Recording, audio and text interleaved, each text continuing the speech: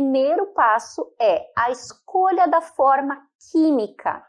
O que é a forma química? Forma química é, bas é basicamente classificado em três grandes grupos: sais inorgânicos, sais orgânicos e os quelatos, que também é um subtipo de sais orgânicos. Então, por exemplo, quando você vai pegar um multivitamínico pronto, você vai ver que as formas mais comuns são as inorgânicas. Você vai ver óxido, carbonato, sulfato, que são formas de menor biodisponibilidade e também menor massa, então ocupa menos volume numa cápsula e, obviamente, menor custo. Depois a gente tem as formas mais biodisponíveis do que as inorgânicas, que são as orgânicas. É, lactato, gluconato, fumarato, citrato. E depois, as que são mais ainda biodisponíveis são os minerais, as substâncias queladas, por exemplo, magnésio glicina, magnésio bisglicinato, ferro bisglicinato, zinco quelado, heliopt zinc. Então, a gente tem várias, vários minerais que são quelados, que é um tipo de orgânico, porém com maior biodisponibilidade.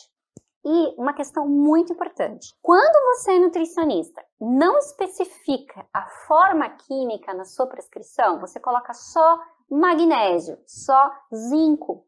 O farmacêutico vai escolher a forma que ele quer utilizar.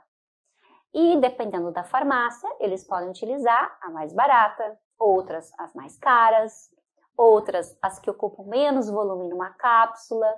Esses dias eu fui mandar prescrever uma formulação e aí eu prescrevi magnésio, riboflavina, mais acho que ácido fólico.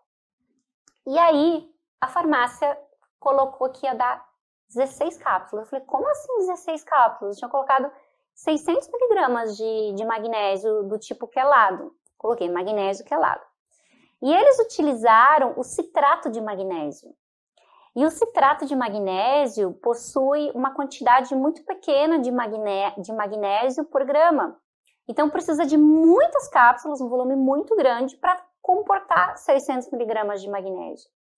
E aí eu entrei em contato com a farmácia, eu falei, não, eu quero magnésio quelado, não citrato de magnésio. E aí, ao invés de 16 cápsulas, baixou para 4 cápsulas, tá? Então, assim, além de você especificar, às vezes ainda tem farmácia que não faz aquilo que você prescreveu.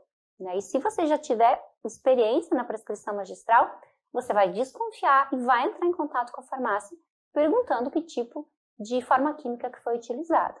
Tá? Então, se você não especificar, pode ser que a farmácia utilize uma forma inorgânica, porque às vezes eles querem ganhar também no orçamento, tá? E por isso que às vezes dá tanta diferença o orçamento de uma farmácia A para uma farmácia B, porque a forma química, a matéria-prima que foi utilizada, pode ser muito menos biodisponível, porém muito mais cara do que a outra, tá? E falando em mineral quelado, até esses dias no meu canal do, do Telegram, que é um canal que eu tenho movimentado bastante a respeito da prescrição magistral, a prática da prescrição magistral, e você que já está no canal deve ter visto, eu falei sobre o que é um mineral quelado. Né? Então, o mineral quelado ele é, nada mais é do que um íon metálico que é associado a várias ligações covalentes, a uma estrutura heterocíclica, ou compostos orgânicos como aminoácidos, peptídeos ou polissacarídeos. Então, o mineral ele fica lá envolto normalmente por aminoácidos e o mais utilizado é a glicina, ou às vezes ele pode ser utilizado a glutamina e glicina, né? Então, vários aminoácidos ao redor. E isso vai proteger esse mineral da interação que ocorre tanto no, no intestinal ou alteração no próprio estômago. Aumenta muito a biodisponibilidade.